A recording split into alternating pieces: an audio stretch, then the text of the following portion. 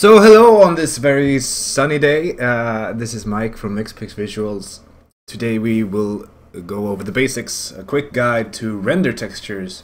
Why do you want a render texture? Why would you need a render texture? What can you do with a render texture? Why, why something? Why is that screen so purple and pink or violet maybe? All right. So what a render texture is basically is is, is like um uh, it's a way for you to project uh, the image from a camera onto a surface. And uh, the way a render texture works is it's not just a, a, a static bitmap that's uh, glued onto the surface, but it's uh, it's a live feed uh, that that's um, being projected. Um, so basically, what what you need for to to set up a render texture is a camera uh, you need an input like uh, you need the image that's going to be projected to be taped somewhere. Think of it as a movie, and that's why I have created this small movie uh, setup. Imagine this is a cinema, uh, and you're sitting here and you're sipping your uh, your weirdly light mapped soda, and and uh, you're looking at the screen, and you're waiting for the movie to start. Uh, but in reality, it's not a movie. It's a live uh, recording of this orc dude and uh, his uh, fire stuff. So what we're gonna do in this quick tutorial is uh, to project this onto this. And uh, what you need need to do is we we got this camera. so we got a camera that's a, an actual Unity camera. You can see in this preview what it's what it's what it would look like if you would project it onto somewhere.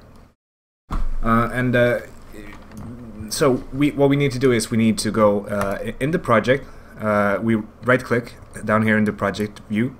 We right click and we select create, and then we take uh, a render texture.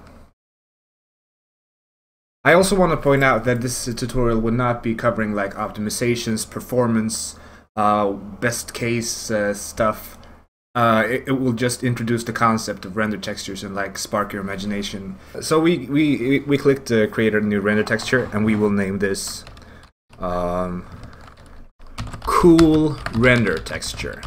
Yeah, yeah, that's happening. So then you can see the options that we get here. Uh, first off is the the uh, the size of it, the the resolution. So think of this as a as a as an uh, as a bitmap image or or video.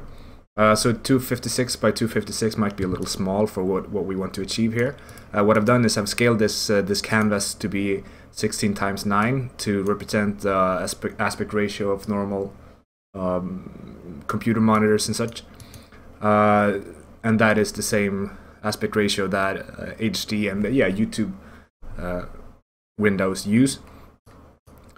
so we will set this cool render texture to have let's not do full HD, but let's do HD ready, so 1280 by 720. Uh, and you can see already that it rescales to that aspect ratio. Let's skip the the other stuff for now.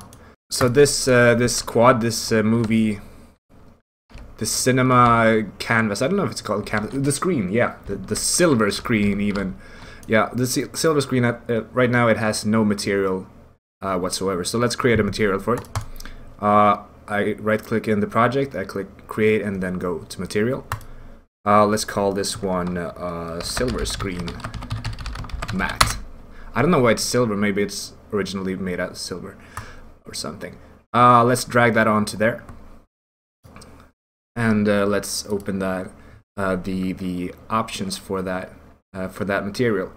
Let's go with the standard shader for now. Maybe there's better ways to do it, but let's for for simplicity, let's use the standard shader. And what we want to do is we want the image that we're uh, projecting onto to be uh, displayed in the albedo channel of the of the material. Uh, so we will take the, uh, the the cool render texture that we created. We'll drag this onto the albedo. Uh, and right now it's black because we don't do anything right now with the cool render texture. The movie hasn't started yet. Um, so what we need to do now is we need to hook this render texture that we created uh, up to the camera that we want uh, to uh, feed the input to it. Uh, and you might have seen this field and not thought about it, but in the camera in the camera component, uh, there's something called target texture. Oh, that's exciting. That's exactly what we want. So what we do is we uh, drag the cool render texture um, texture onto this field. You could do this, yeah. And what? It's that simple, really. And what that does now is that whatever is filmed by the camera is displayed on that texture. That texture uh, is then uh, what displays the albedo for this material that we created called silver screen. This uh, screen here, this 3D uh, model of a quad, has that material on it. Uh, and this is not just static, this is actually live. So if we click the particle system, it will run, and that'll show us that sweet, sweet movie of the big scary orc. Uh, this updates live, and this is possible to do in runtime.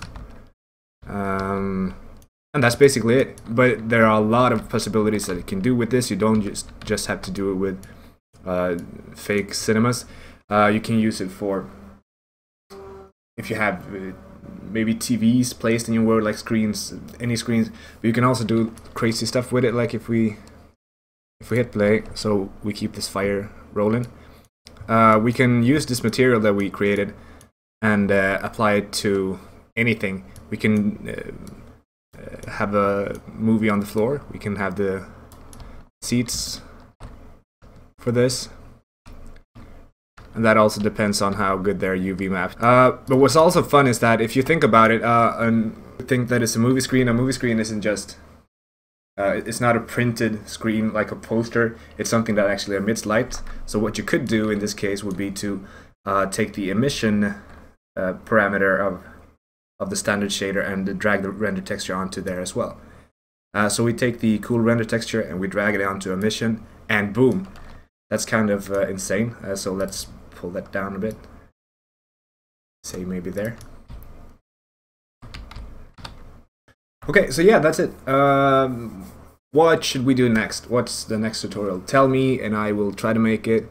I'm thinking about doing something with uh, light maps, uh, and please don't regard the fact that these light maps suck because I just did them quickly for this tutorial.